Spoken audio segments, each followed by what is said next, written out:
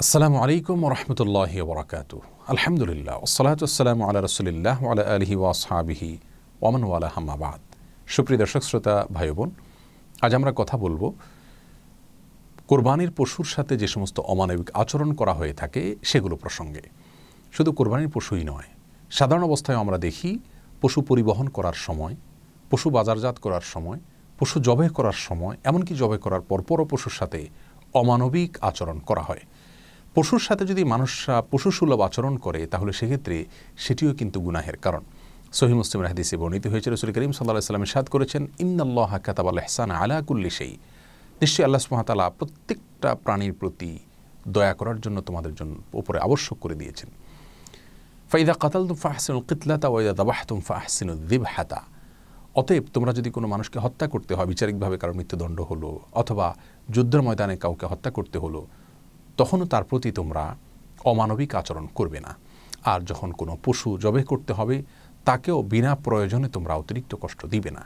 যত কম কষ্ট দিয়ে সম্ভব জবে করবে, এবং সেজন্য তিনি ইহাদিসের পরবর্তী অংশে বলেছেন, তোমরা ছুরি বা চাকুকে ভালো করে ধার দিয়ে নিবে, যাতে করে যথাসম্ভব কম কষ্ট দিয়ে তাকে দ্রুত জবে করা যায়।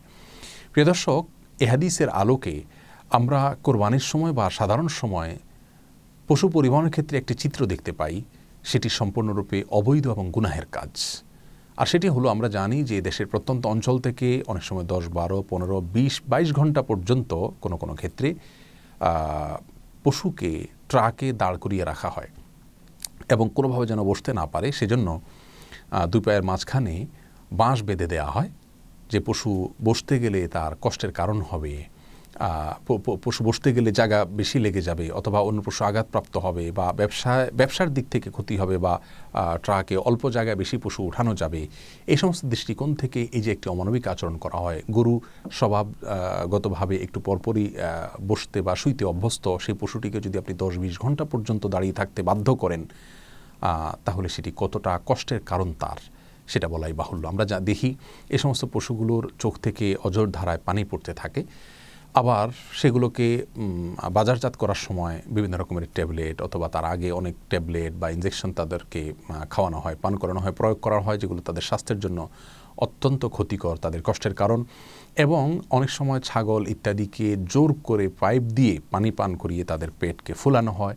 কোনো কোনো ক্ষেত্রে সেটা এত বেশি পরিমাণে করা হয় যে অনবরত সে পেশাব করতে থাকে। এ ধরনের অমে, অনেক অমানবিক আচরণ বাজারজাত করার সময় করা হয়ে থাকে। এমনকি ছাগল বাজারে যখন উঠানো হয় তখন এত টাইট করে বাঁধা হয় যে কোনোভাবে সে বসতে পারে না। সকাল থেকে রাত পর্যন্ত এভাবে দাঁড় করিয়ে রাখা হয়। প্রিয়দর্শক এই আচরণগুলো সম্পূর্ণরূপে জঘন্য এবং গুনাহের কাজ। সেই সাথে পশু জবে করার সময় পর্যন্ত দেখানো হয়। দেখা যায় যে অনেক সময় কষাইরা সেটাকে খোঁচাতে থাকেন বা চাকু ভালো করে আগে ধার দেওয়া হয় না। অনেক সময় ধরে পোচাতে পোচানোর প্রয়োজন হয় যা পশুর কষ্টের কারণ হয়। অনেক সময় জবাই করার পর পশুর চামড়া ছেলা শুরু করা হয় অথবা পায়ের খুর ইত্যাদি কাটা শুরু করা হয় যা তার প্রাণ বের হওয়ার আগে তার শরীরে এরকম পোচ দেওয়া বা চাকু দিয়ে কাটাকাটি করা, এগুলা তার জন্য কষ্টের কারণ। এই সমস্ত বিষয়গুলো ইসলামের শরীরের দৃষ্টিকোণ থেকে খুবই জঘন্য ভুল এবং অন্যায় কাজ। কোরবানির পশুর ক্ষেত্রে বিশেষভাবে আমাদের এই সমস্ত আচরণ থেকে দূরে থাকা উচিত।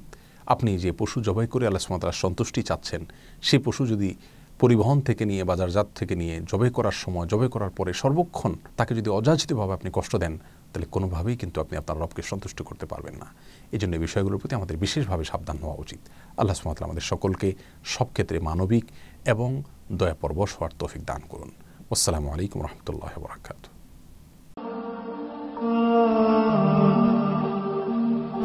নিয়মিত ইসলামিক কন্টেন্ট পেতে ডেইলি ইসলামের অফিসিয়াল ফেসবুকে লাইক দিন। ইউটিউব চ্যানেল সাবস্ক্রাইব করে বেল বাটনে ক্লিক করুন।